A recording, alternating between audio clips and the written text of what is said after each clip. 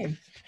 Good afternoon and welcome to Vermont House Judiciary Committee. It is Tuesday, April uh, 13th.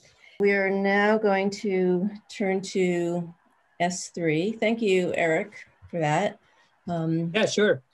Okay. Just one thing to add, just to for for committee's uh, interest. Uh, also, the Senate Judiciary Committee this morning it looks like they're going to concur in uh, H.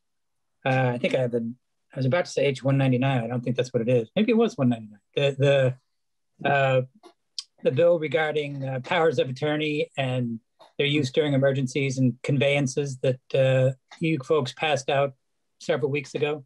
Right, right, right. I don't I don't think there's any changes to that. So I think they're uh, talked about that quite a bit with them this morning, and it looks like they're going to move ahead with it as as passed the House. Oh, great. Thank you. Yeah, that, that's, that's an important bill. Great. Okay. Sure. Thank you. Yep. So, okay, great. So now we're going to switch to S3 relating to competency to stand trial and insanity as a defense. And as you may remember, we're slowly getting through all our witnesses. um, and so Sarah Robinson of the network is here to, to join us and share her testimony with us. So good afternoon, welcome. Good afternoon. Sorry, I had a little, little Zoom issue there. Uh, thank you so much for having me. For the record, Sarah Robinson, Deputy Director at the Vermont Network Against Domestic and Sexual Violence. Thank you so much for the continued testimony that you've been taking on S3. And I'm here today, I'll be fairly brief just to weigh in on the importance of the victim notification sections and talk a little bit about that. Um, so largely, you know, we do believe that there's an important role for victim notification where there's been criminal justice involvement and someone is committed to the care and custody of the commissioner of mental health. Um, and in these cases, the bill that you've been considering does seek to address some significant gaps between the criminal legal system the mental health system and victims of crime that have existed for, for some time. So I'm going to uh, speak to section three of the bill, notice to victims, um, and speaking to subsections A and B of that section. Uh, and just to say that first, the uh, is the importance of victims having some level of notification when there's a change in treatment setting, uh, especially a discharge. And in our small communities here in Vermont, it's important that victims have this information through trusted channels prior to discharge. And this allows people to consider what might be needed for their own safety, um, all kinds of safety, and most importantly, not to be surprised to find out that the person who caused them harm has had a change in their freedom of movement or location. And there have been a few instances where um, victims have reported um, hearing from other community members, or even seeing individuals that have caused them harm and have had no notice um, that that was a possibility. So we're, we're supportive of that. Um, second is this, uh, it seems like a small issue, but I think it is significant to victims, and that is the issue of absconding. Um, and we worked to add this language in in the Senate. And I just wanted to um, lift up and reference a letter that has been posted to your committee webpage several weeks ago from Deborah Brookfield. Um, and in the case of this victim, the person left their treatment setting. And the only way that the victim found out is because their advocate happened to see a missing persons poster um, on the evening news. And Ms. Brookfield is not the only individual who has experienced this. And we feel like this is an important change in procedure. And we would be fine with changing the language of absconds to elope, um, which was a suggestion that was made by Jack McCullough from Vermont Legal Aid. Um, and I think the reference he gave was 18 VSA 7101. Um, and that change would be fine with us. Um, and in regards to subsection C in section three, which I know the committee has had a lot of discussion about, um, we very much hear and are sensitive to the concerns raised um, by both disability rights and mad freedom.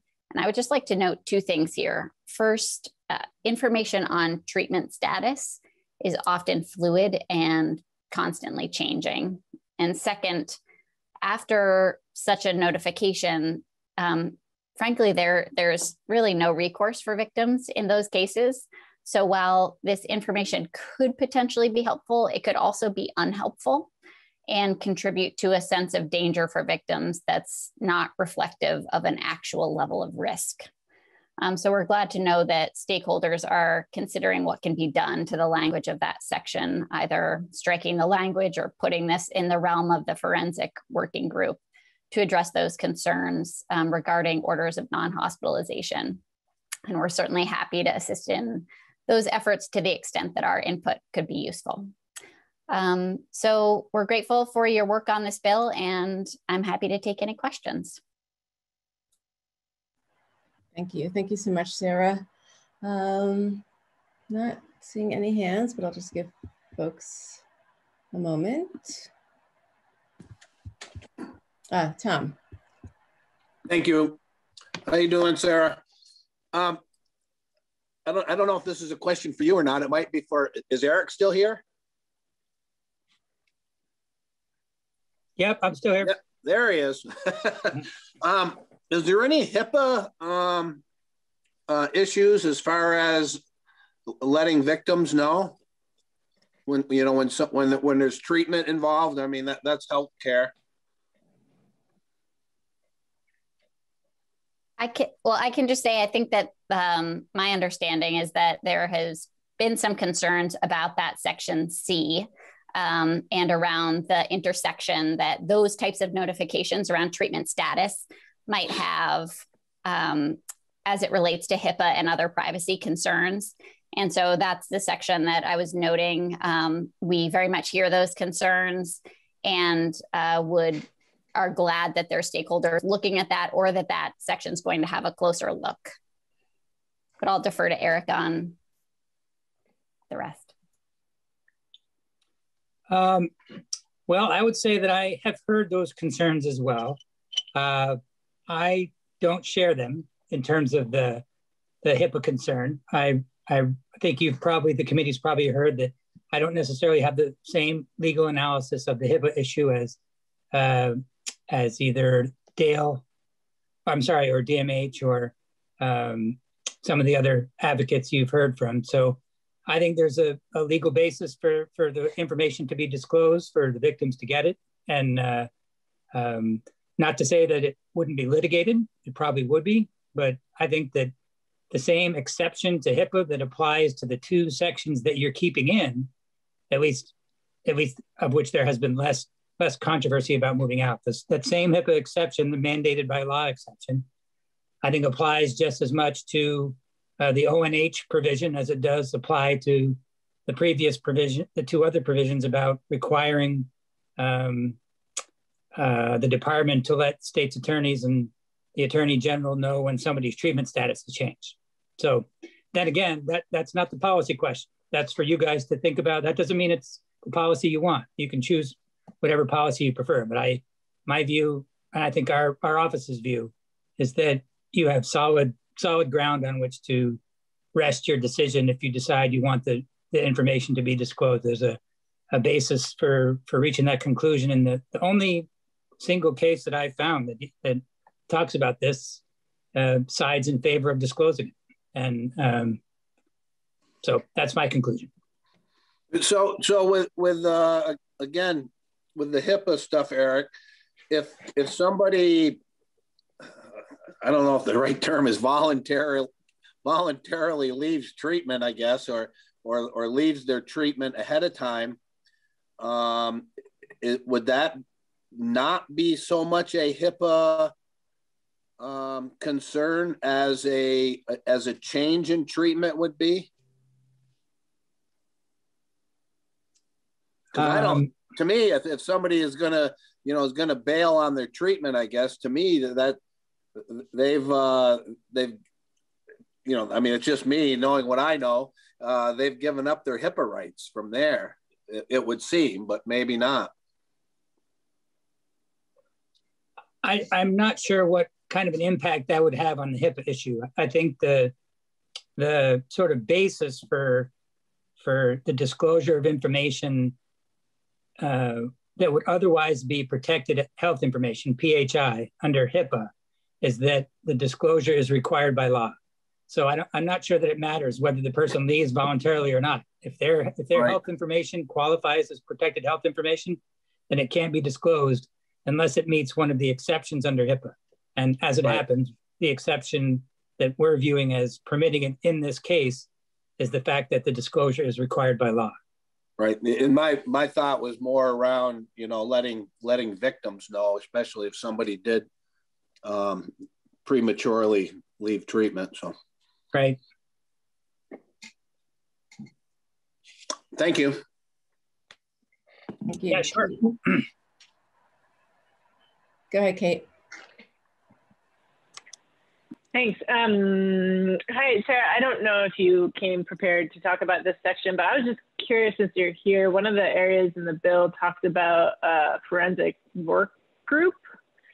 And I don't know if you've taken a peek at that at all. Um, and it does. It looks like the language creates some some space in terms of ultimately deciding who comprises that group, but it does list out a number of people or entities that would be included. And I guess I'm just curious if you had any thoughts or a reaction, or if the network did in response to the the makeup of that group for the charge while we're at it. Um, sure. So we were definitely supportive of uh, the inclusion of the two victims of crime appointed by the Vermont Center for Crime Victim Services. I think that's going to be a really important perspective to have on the on the work group. Um, and otherwise, um, I don't necessarily have any other other comment on the work group itself. Other than uh, just to note that it's an, obviously an, an extremely complex system of care and that it makes good sense to have a working group looking at the broader issues related to this population. Thanks. Okay. We do have written testimony from Chris from Chris Fenno about um, putting in some language regarding victims in in the charge of the working group, um, which we'll refer to when we start doing markup. So that might answer your question as well, Kate. Um, okay. Seeing any other hands? Any anything else, Sarah? Before we let you go. No, that's it. Thank you very much. Okay, great. Thank you. Okay, so let's see. We have a our break is scheduled, I believe, at 2.30. Just to make sure I got that right. Yeah. So what what I would like to do um, before our break, and since we, we have Eric, is to go through S3 and I'm going to identify places that um, where I've heard consensus um, in terms of our testimony, as well as places that um, there may not be consensus, um, and have folks let me know if I've missed anything. Um, but this would be the, you know, to to start to put together a, um, a committee amendment. Um, I will say that Representative Ann Donahue has put something something similar to this in a in an amendment, not it's not um it's it's from it'd be you know it's her thoughts not representing the committee on on uh on healthcare. Um and i know others on the committee are are, are thinking about it too. So if we could just take a few minutes to do this. And eric i know you have an ongoing list as as well and i'm going to just go page by page really. Um so in terms of on the first page where it talks about copies of the report who they're being sent to. Um, I know there was um, testimony adding DAIL. Um, you know, Representative Donahue mentioned that. Um, also adding the respondent. We heard that from uh, from Wilda White. Um, I um, reached out to uh, AJ Ruben and um, Jack McCullough about whether or not to add the respondent, and they were okay with that. Because um, right now the law is it's silent on whether or not um, what happens when the respondent is not represented by by counsel by an attorney, whether or not the respondent gets a um, gets the report. So, so I would suggest again, just for for starters, um, to add to add respondent to that section on who gets the copy of the report. Um, okay, am I forgetting anybody in there? Anybody? Nope. Okay, great. Um, the next page, um, the new language um, in two talks about about the two different opinions and, and the timing of them, and that um, that needs. I, think we only had one witness, the uh, medical society, that thought that that language was was clear. So I know um, Eric is going to be working on on that. We also heard from um, Department of Mental Health that um, I believe um, Wyoming has had some language um, regarding that, and that also that could be um, something put into the to the forensic working group. So, any other thoughts or comments on on that? Does that sound consistent with what we've heard? Martin. So uh, I've also uh, talked to Eric about trying to put in some language uh, that addresses the issue of uh, spoliation of evidence or preserving evidence uh, and, and who would be responsible for that. So uh, there will be a, a proposal just for us to look at that I've asked Eric to, to work on. Okay, great, great, thank you. Um, okay, and then let's see, the um, the next, the uh, on page three in B, um, this is um, having counsel, um, having Vermont Legal Aid represent, um, provide counsel, and I think we heard testimony we heard was um, pretty much unanimous in, in, support of that. Uh, Martin? I, I, did have a question on that on that language that, as far as whether it can be clarified a little further even. The, the fact is that it, it cites to sub, subdivision A2 of the section, and then it describes subdivision A3 and A4. Shouldn't it just say, you know, stand trial pursuant to subdivisions A2 to A4 of the section? It's just a drafting question, uh, Eric. It's not, you know, changing the, the meaning of it. Does that make sense what I'm asking? That it just, one of the things that just spells says look at A2 and the other two it actually has the language of A3 and A4. Yeah. Do you see what I mean, Eric? Uh, I do, yeah. There's not a consistency among those three. Right. So yeah, it might make sense to strike the cross-reference specifically since you don't have it in the other two places. Yeah, well, yeah, then right, right. Just spell out what A2 is if you're going to spell out or, or have them all say A2, A3, and A4, whatever. Just not parallel, that's all. Right.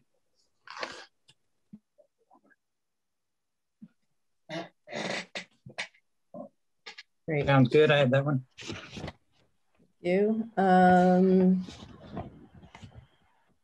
okay, and then the next area is on page six. Madam Chair? Yeah. Um, why um, why is the uh, word entitled to have counsel appointed? Why is the why are is the state or taxpayers paying for that? Why isn't why is that written like that? You know, like is a simple question, I guess. Well, they have they have a, a constitutional right to counsel already because they're going to be confined against potentially against their will.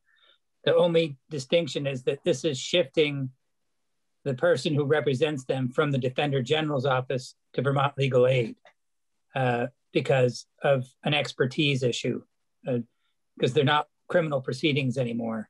Um, and the reason that uses the word entitled is because it, previously, actually last year even, it had said uh, shall be represented by Vermont Legal Aid, but they wanted to preserve the person's ability to have their own private attorney if they wanted to. So they could have their private attorney pay for it themselves or um, have Vermont Legal Aid do the representation, um, which they, they have a right to have state counsel if they want to because of the nature of the proceeding. But it's not saying they can have their own lawyer, does it? No, but th that's the that's the reason the, the word entitled is used. They're entitled to have counsel, but they don't have to.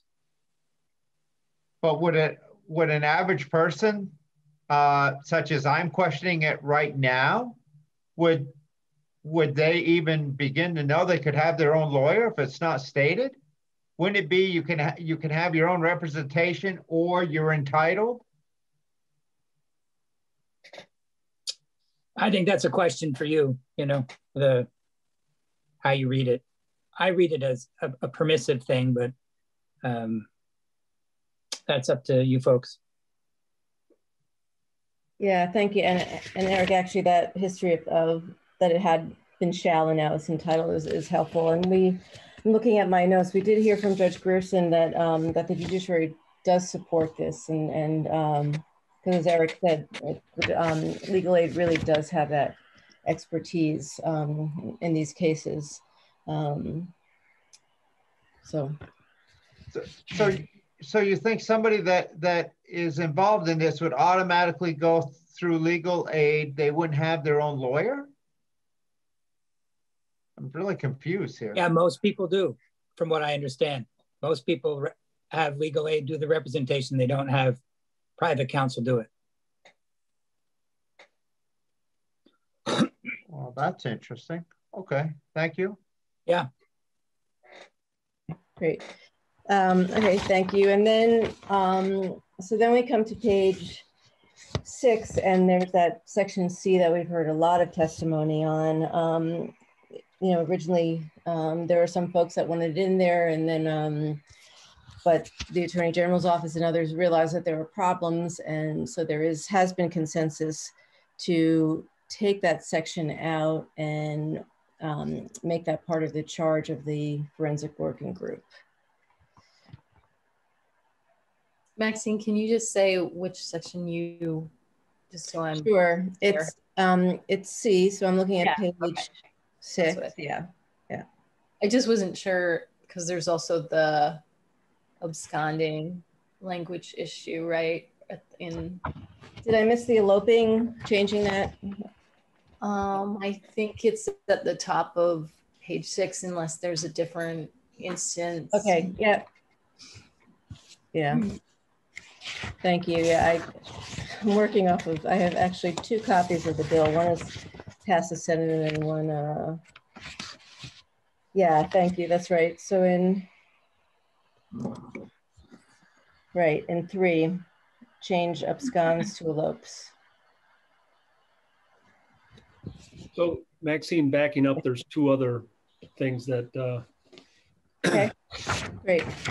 So back on uh, subsection B that we're just talking about, uh, adding, and this is something that, that, that Ann Donahue flagged for us, adding and if applicable, the Department of Disabilities, Aging and Independent Living. I know that Eric already has that language uh, okay. since adding them up front. And there's a second place to add uh, DAIL, and that is in subsection uh, 2A on page five, I believe it is since since we're adding them as far as they, they, they are being added in this. Right. Okay. Great. Thank you.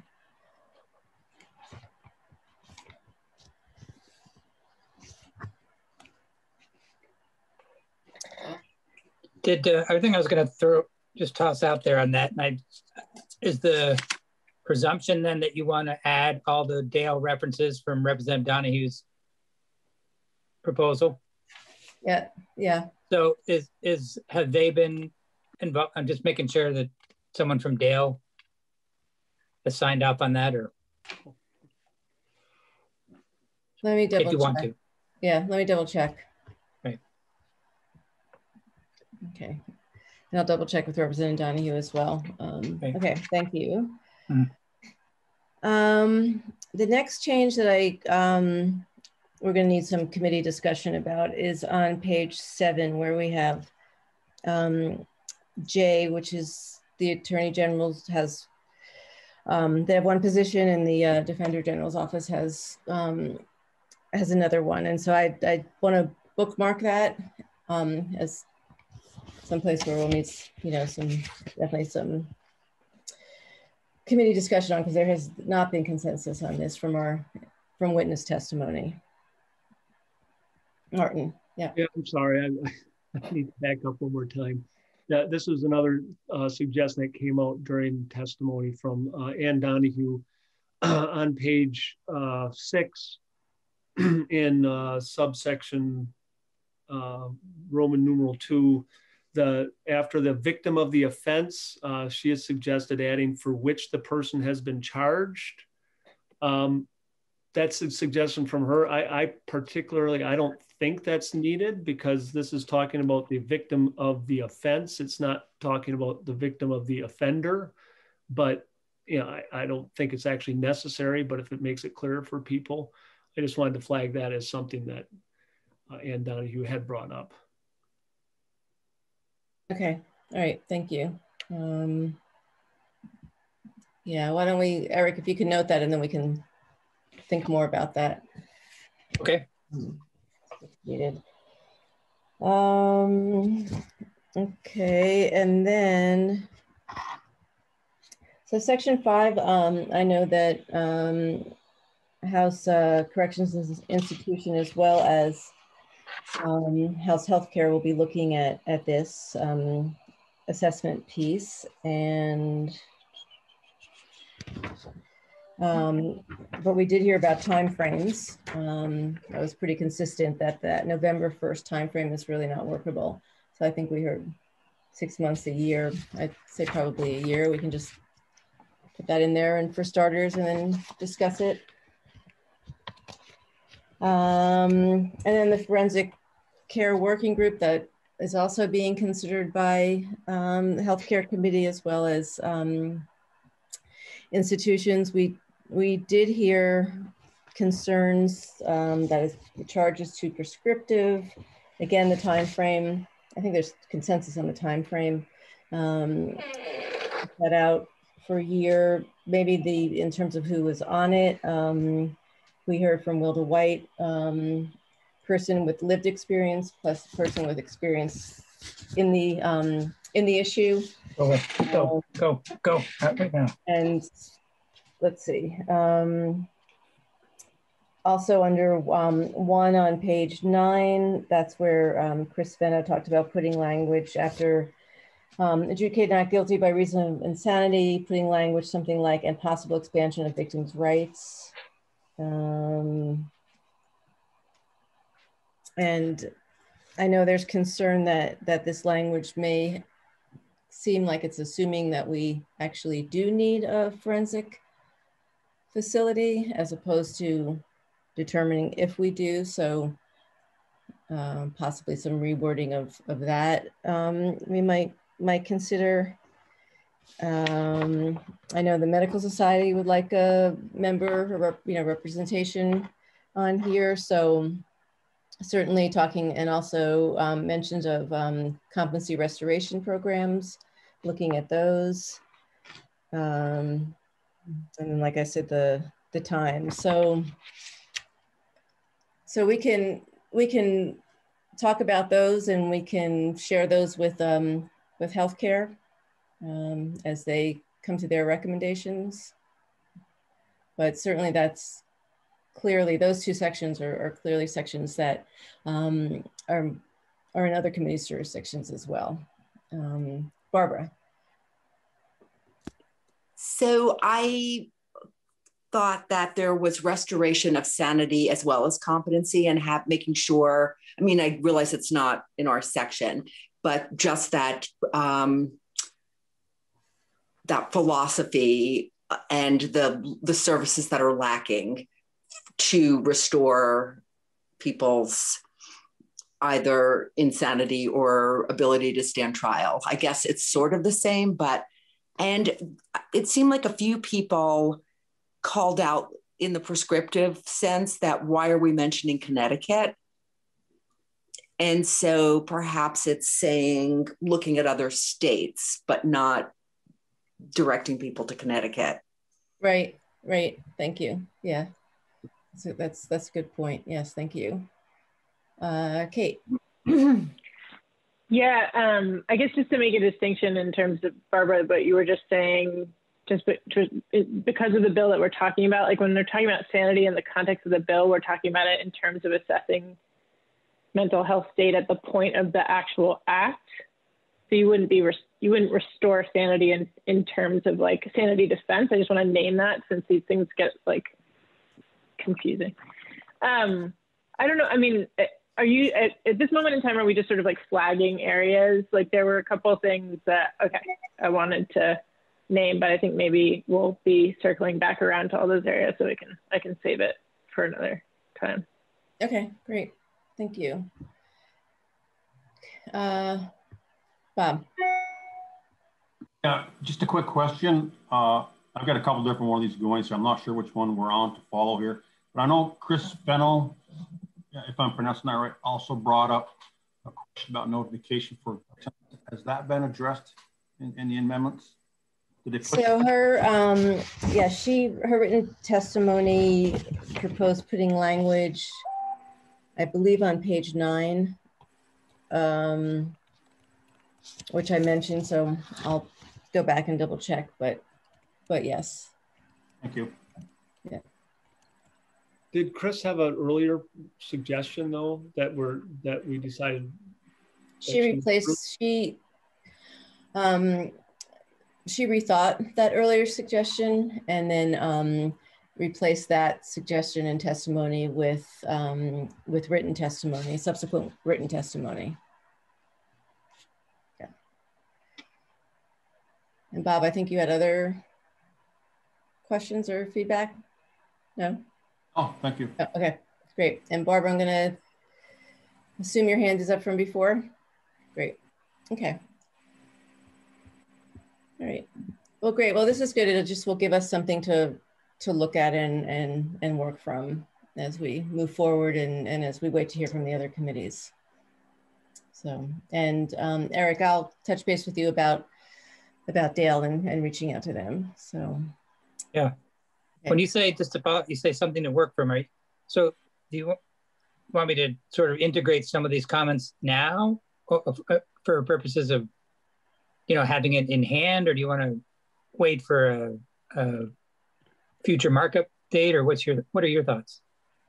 Um, I think it'd be good to take what Representative Donahue and add, and then add these as a um, into an amendment to to look at.